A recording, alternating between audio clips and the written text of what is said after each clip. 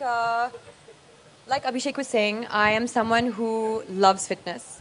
And um, I do all these things not because, I mean, uh, for the sake of it um, or to, you know, to look a certain way. I actually do it because I have a genuine love. Um, I love the feeling you get when you're fit and you feel strong. You know, I've uh, worked out with this beautiful lady over here as well, and she introduced me actually to yoga. And uh, I remember just that feeling I had after doing IFA's classes, just thinking, wow, this is making me feel so good.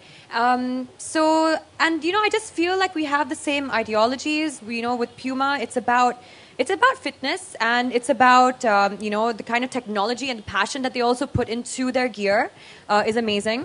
Uh, I've always been a huge fan and uh, it's just it's crazy that I'm, I'm seeing myself up on posters, you know, with with uh, looking fabulous by the way. Puma, it's like it's so cool, and that photo shoot was really hard, by the way. Oh, what? no, you know, seriously, like I think uh, sports fashion is something that uh, is just taking over the world, and for me, it's extremely important because I love looking good, like while I'm working out. It just makes me feel really good as well. I love picking out my gear, just as I would pick out an outfit for the day. I love picking out my sportswear. So, and you know, Puma has such amazing colors and designs and materials.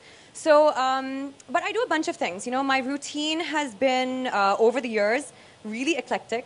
Okay. Um, and uh, I try to fit in at least four times a week of Pilates. Wow. Um, you know, because we travel a lot as well. If I'm not able to reach a Pilates studio, I'll do a little bit of weights. Weight training is really important for your um, strength.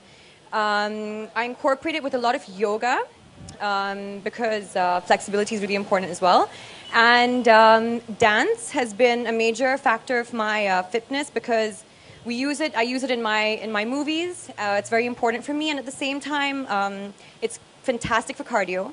It's fantastic for stamina.